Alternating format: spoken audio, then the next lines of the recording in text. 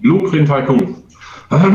Also es ist noch, wie man hier unten sieht, Alpha 007. Also es ist so, es ist eigentlich noch gar nichts. Aber es ist schon ziemlich cool. Also mir gefällt. Für 2,49 kriegt man tatsächlich, man kriegt was für sein Geld. Äh, wir gucken mal rein. Ähm, New Game. Es gibt im Moment nur dieses Szenario Robert Supplier und das Tutorial. Das Tutorial würde ich kurz zeigen, weil man dann einfach sieht, wie das User Interface funktioniert und was es geht. Ich zeige mal eben ganz kurz, was im Moment Stand der Dinge ist. Also, wir kommen zu Blueprint Tycoon. Ich bin ein Assistent und ich zeige Ihnen, wie es funktioniert. Wir gucken rein. Es ist so ein bisschen wie SimCity ganz früh und ähm, mit ein bisschen ja, Wirtschaftstycoon und so weiter. Das erste, was wir brauchen, sind Häuser für Arbeiter. Die kann man einfach hier setzen und mit der R-Taste kann man das Ganze drehen. Ich baue die jetzt mal einfach so, wie der das hier auch gerne möchte. Äh, ich glaube, so, warte mal, warte, das muss da muss ein frei sein, dann muss das hier, und dann da. So, zack, und dann soll ich einen Marktplatz bauen, auf dem Sie sich was zu essen kaufen können. Was sind das für Zeppeline? Das sind die, die versorgen Marktplatz und so weiter mit Sachen. Ja, der hat jetzt hier zehn Essen reingebracht, damit wir auch tatsächlich was zu kaufen haben. Das Essen muss ich aber gleich produzieren.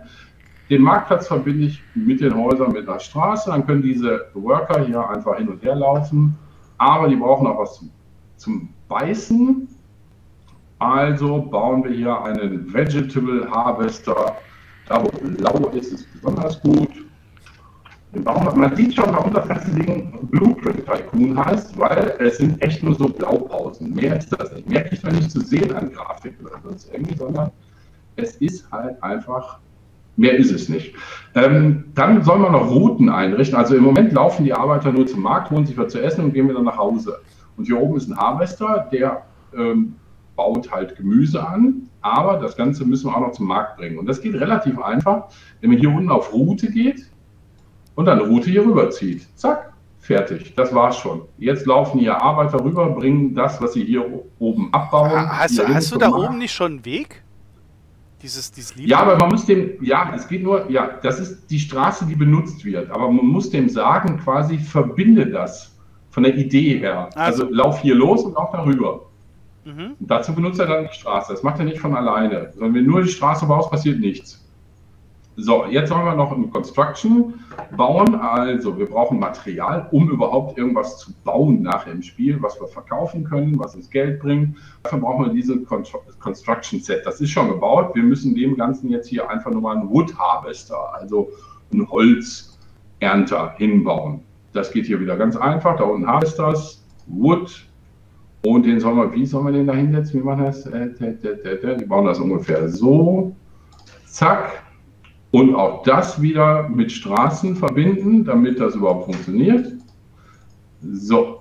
Harvester Crafters require a blueprint to produce goods. Also die müssen überhaupt wissen, was sie tun sollen. Dazu klicken wir das ganze Ding mal an und sagen New Blueprint.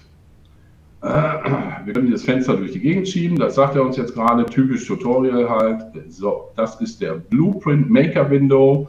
Hier können wir jetzt sagen, wie überhaupt produziert werden soll. Also auf der Seite sehen wir die Map und auf der linken Seite sehen wir die Arbeiter, die zur Verfügung sind und die möglichen Werkzeuge, die sind. Wir sollen jetzt sagen, wir fangen mit einem Harvester an. Das ist der grüne Arbeiter, hier unten zu sehen, da der grüne Arbeiter. Und der soll quasi hier starten. Der soll hier gather, also ernten. Zack. Und äh, habe ich schon gemacht. Select the Gather Action, jawohl, Gather. Select the Blue Worker, der Blue Worker, der geht jetzt im Prinzip nicht anderes hin als startet hier, grab, das was der eine geerntet hat, nimmt der andere jetzt auf, läuft hier rüber und schmeißt es da raus. Das ist alles. Das ist noch eine ganz einfache Blueprint, also ist noch nicht wirklich schwer zu, äh, zu produzieren. Wir sagen einfach Save und Fertig ist die Laube. Jetzt müssen wir nur wieder, wie auch hier oben schon, einfach nur sagen, das ist ja mit einer Straße verbunden. Also ein Arbeiter holt das hier ab, was produziert würde, und bringt es zum Construction. Und jetzt läuft da jemand, sobald was produziert ist, bringt er es hier rüber zum Construction. Das war's. Jetzt haben wir Material, mit dem wir arbeiten können. Die Arbeiter brauchen allerdings nicht nur was zu essen, sondern die brauchen auch Geld. Also müssen wir Verträge uns angucken. Hier ist im Moment nur ein Vertrag für Steine. Den können wir für 45 können wir Steine verkaufen. Den nehmen wir jetzt mal. Your delivery building is tier 1, also noch Stufe 1, which means it can deliver up to 50 goods per day, also 15 Stück pro Tag kann dieses Ding, unser Delivery Building, ausliefern. 15 mal 45, so viel Geld würden wir machen. Dazu brauchen wir aber erstmal überhaupt wieder einen Steineernter, also einen Stone Harvester, den sollen wir jetzt eben bauen. Auch das geht wieder hier unten, Harvesters. Das Feld darf ich wieder durch die Gegend schieben. Hervorragend. Steine. Steine soll ich bauen. Machen wir wieder ganz einfach. Steine habe ich gebaut. Road, verbinde das zum Storage und sage halt einfach wieder, dass ich mit dem Arbeiter hier rüberlaufen möchte. Und fertig ist die Laube. Jetzt bauen die hier Steine ab, bringen die zum Storage. Vom Storage kommen sie zur Delivery. Und wenn sie da sind, werden sie ausgeliefert. Es gibt also Geld. You made some money, always keep a close eyes on your contracts, also immer schön die Aufträge beachten, weil die bringen das Geld rein, die die Arbeiter am Ende wieder bezahlen. Fertig. Jetzt soll ich nochmal vier Häuser für Arbeiter bauen. Das mache ich hier oben. Wieder das gleiche Spiel in grün. Worker Buildings. Die kann ich wieder drehen. Kann ich sie drehen? Kann ich sie sehen? Kann ich sie drehen? Doch, ich kann sie drehen. Dann verklemmt es ein bisschen. Man merkt, dass es halt von einem Einzelnen programmiert wird und auch nur 2,59 Euro kostet und eben noch nicht wirklich weit ist. Ja, mal zack, zack, mit Straßen mit zum Marktplatz verbinden und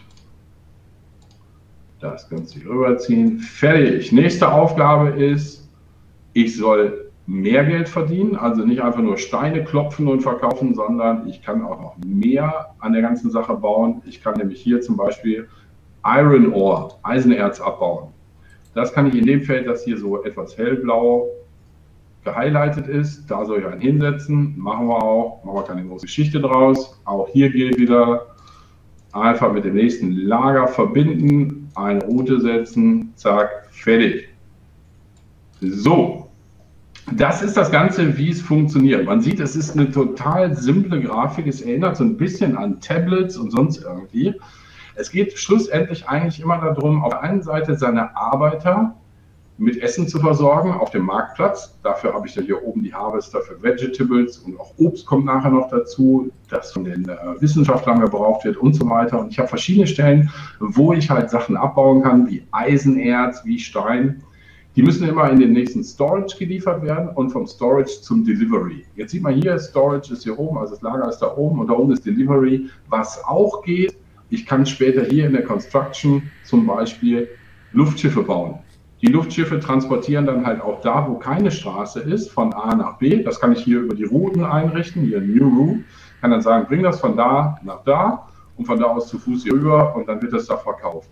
Es gibt eine ganze Menge zu tun im Tutorial schon. Also es, man kann sich gut eine Stunde, zwei Zeit nehmen, um das Ganze mal anzugucken und auch das erste Szenario. Mehr ist es noch nicht. Allerdings ist es, glaube ich, bis Montag noch für 2,49 Euro zu haben. Und wer solche Spiele, solche Aufbauspiele tatsächlich sehr gerne mag, der sollte sich das mal etwas näher angucken. Ich habe da jetzt gerade erst mit angefangen. Mir gefällt das sehr gut. Ich habe, glaube ich, erst eine Stunde, anderthalb irgendwie investiert. Man muss nachher noch einige Dinge erfüllen, wie hier diese Teile, die man hier sieht, die muss man auch extra bauen. Die erlauben einem wieder seine Produktion Upgrade zu verpassen und so weiter. Also es steckt schon wirklich einiges drin. Faszinierend finde ich, dass es wirklich so ein Ein-Mann-Projekt ist und ähm, dass es für so ein kleines Geld einfach zu gucken ist. Denn das ist, wie Early Access gehen sollte. Für kleines Geld früh reingucken, Feedback geben in der Community und sagen, das hakt noch oder das könnte ich mir noch vorstellen, die Idee habe ich, bring das oder das noch, noch rein. So sollte Early Access sein und nicht wie Atari das gemacht hat. Aber das war ja ein Thema, das wir schon gehabt haben. Also, das ist im Moment Blueprint Tycoon. Bei Steam 2,49. Ansonsten, ich glaube, ab Montag dann wieder 2,99, also nochmal 50 Cent teurer. Das ist ein wow. mega Deal, den man im Moment machen kann.